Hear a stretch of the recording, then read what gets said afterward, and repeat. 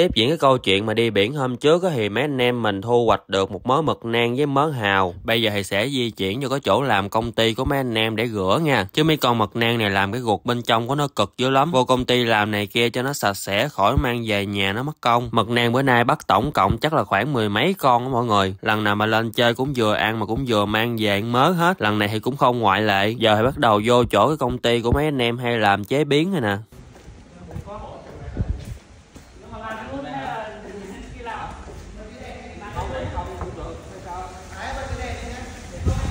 Ở đâu? Mấy con mực nang này tao nó làm cực vô cùng luôn, mọi người ơi.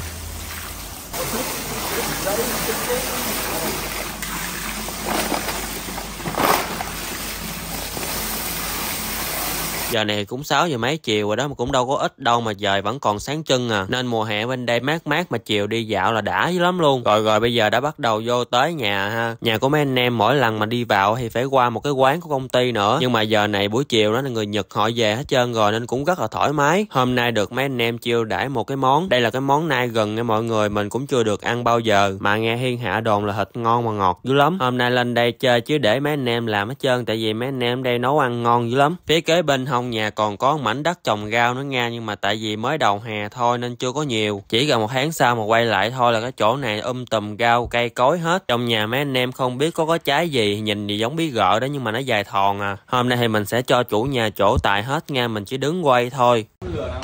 Đây, em đi pha cái bát nước chấm này nè cây gam ờ, kia anh có làm gì không nhỉ? Anh không ờ, đập gừng á, gừng đập nhỏ ra cho vào tí khắc đổ vào cả cháo mực này thì mọi người? Chỉ cần hấp đơn giản thôi mà nó ngon giòn ngọt dữ lắm. Anh chỉ chấm hai hai trái ớt đi anh ạ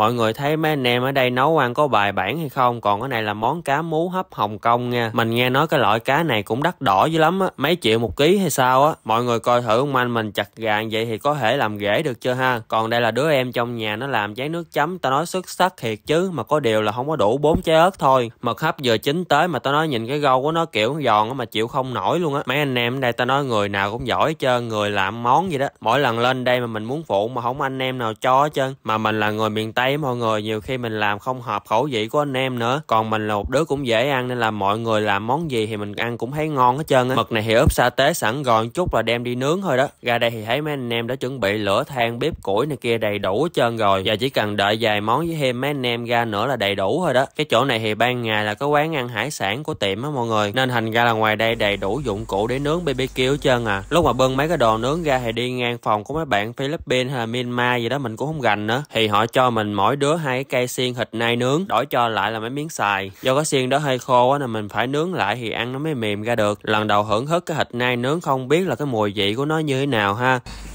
Đứng có qua ăn được mặt mặt màu chín rồi. Nó cái chấm nước mắm kia rồi. Sao làm con bắt chăn trên chăn ra? Chỉ là lấy cái bắt mà chăn ra chứ. Để đây mà dài ha mình biết nướng lại nó nó nó nó, nó mềm ra.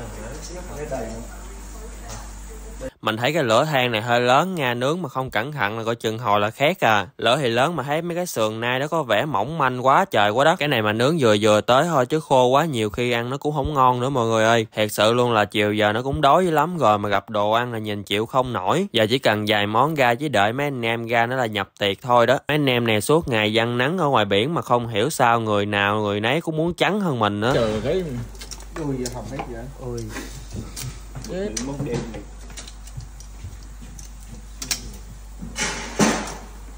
đây là đây của hắn Dê này. nướng vừa thôi, đừng nướng khô quá. Đây chữ cao đúng không? Hết. Để mà ăn. Bỏ xong này bọc sang bên đấy mà cho vào mình lấy cái bát ra mà chăn nước chấm chứ thằng này bảo làm hai cái. Được chưa? Lên tiệc nào?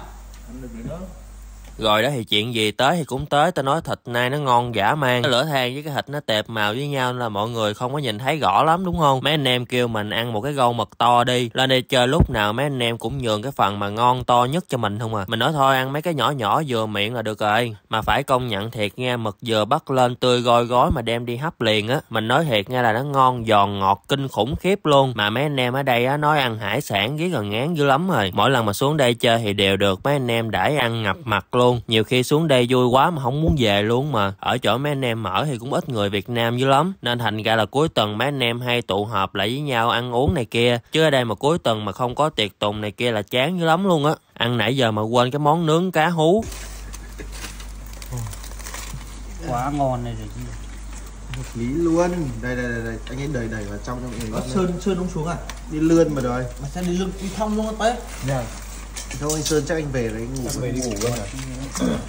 Đây là hàng mình cũng mới bắt hồi chiều nè con nào con nấy cũng mập nút uno à. Qua chỗ em là cái đấy là vứt thôi. Hai tầm vài trăm nghìn nó nóng Để rẻ túi nữa. Nó bơi giống như thấy anh nó Để bơi như thế nó mới bơi được. Cái đó là, tao nghìn em lại mở nóc ra một Ờ. nó nó đẹp bơi nhưng mà ăn được mà ăn hay mà thì tụi em sợ nó mà cứ nó bám vô cái là Rồi, thiền cái đấy. là mua bán mua tiền trong mấy con sò đẹp thì chắc là mình khoái ăn cái loại này nhất tại vì nó cũng vừa vừa không có to quá mà cũng không có nhỏ quá. Không phải thật lòng mà nói chứ bữa nay đồ ăn món nào cũng ngon hết trơn mọi người ơi. Có một điều là khi mình nuốt nước ép vào á một thì là sẽ không nói gì còn hai mà chúng vô luồn chúng người một cái rồi hai là ngồi nói hoài nói hoài luôn vậy đó. Quay cái clip lại về coi xong ủa mình thấy ủa không biết mình nói cái gì mà mình nói hoài nói nhiều dữ vậy ta? Cảm giác giống như là đang ngồi nói cho mấy anh em ở đó nghe vậy đó. Mà thiệt chứ ngồi ăn uống với nhau phải nói chuyện chứ không lẽ im im thì biết sao mà vui được. Hơn em trai trong nhà sáng mình còn ngủ nướng thì phải dậy đi sớm mua đồ ăn chuẩn bị cho mình nè thiệt sự đã xuống chơi làm phiền mọi người mà còn lo lắng chu đáo nữa. Buổi sáng mà có được cái bánh mì trứng ăn vậy là no ruột tới trưa luôn. Do hôm nay là mấy anh em đi làm nên mình cũng phải đi về sớm luôn. Chào nhau ở nhà đó nghe nhưng mà em vẫn phải ra chạm xe buýt để tiễn hay mịn đoạn nữa chứ. Lần nào lên chơi ăn uống no nê thì cũng có đồ mang về hết trơn thiệt lòng mà nói là cảm ơn mọi người rất là nhiều luôn nha. Để hôm nào rảnh rảnh lại xuống chơi tiếp nữa.